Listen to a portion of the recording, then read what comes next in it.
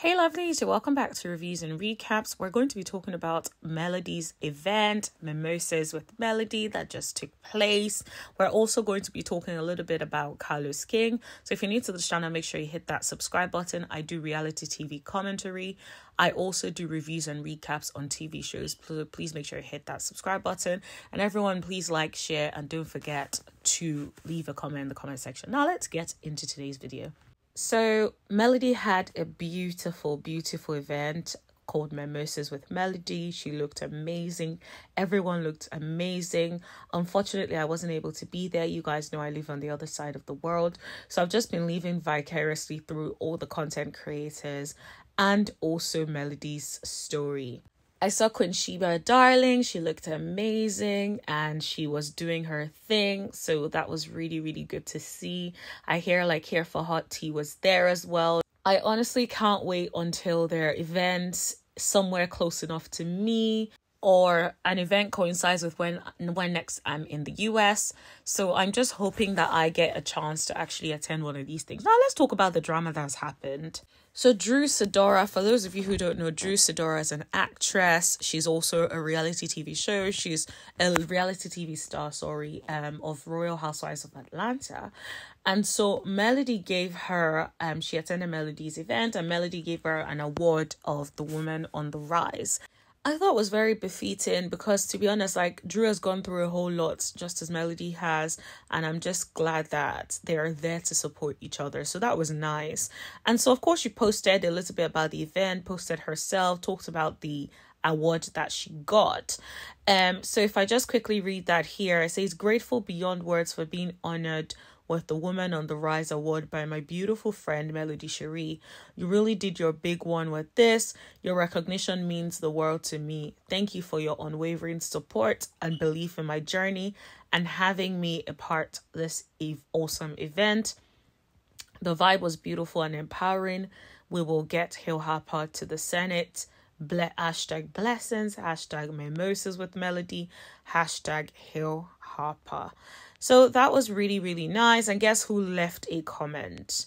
Carlos King. So Carlos King left love struck emojis. And people decided to light his ear on fire. Like people dragged him. So someone said, So you know it was Mel's event, right? You can't be any more obvious. If it wasn't for her, you'll still you'll still be a has been with your one and done shows. Someone said, Sorry ass ninja.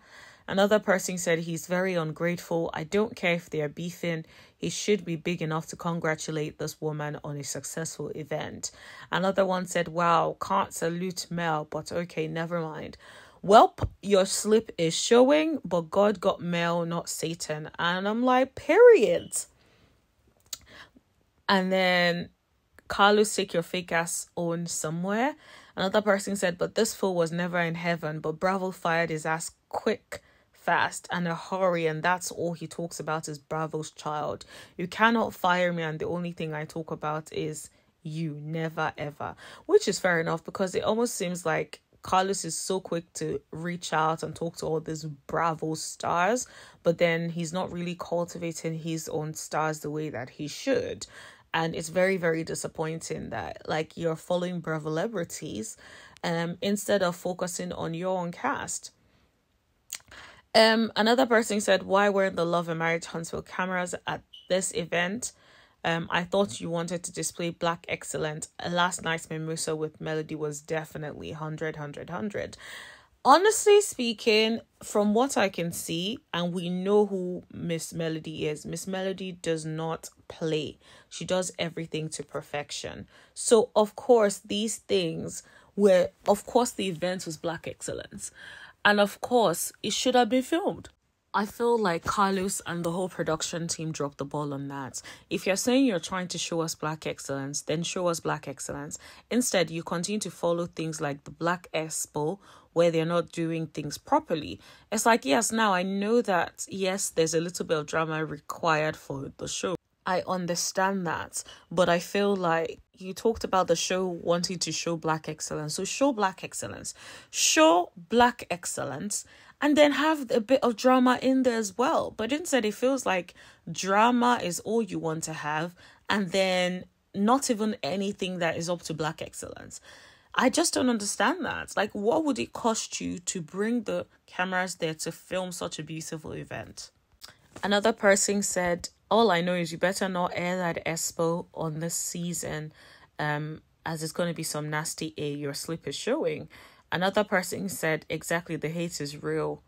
All fake Carlos, shame on you. Another person said, You are straight up trash for this.